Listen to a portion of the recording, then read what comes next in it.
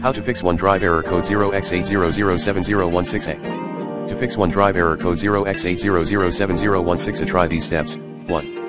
Enabling then disabling save space and download files as you use them under Files on Demand. 2.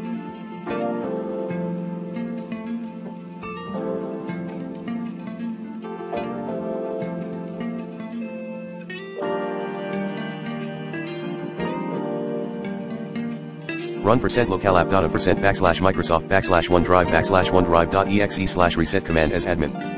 3.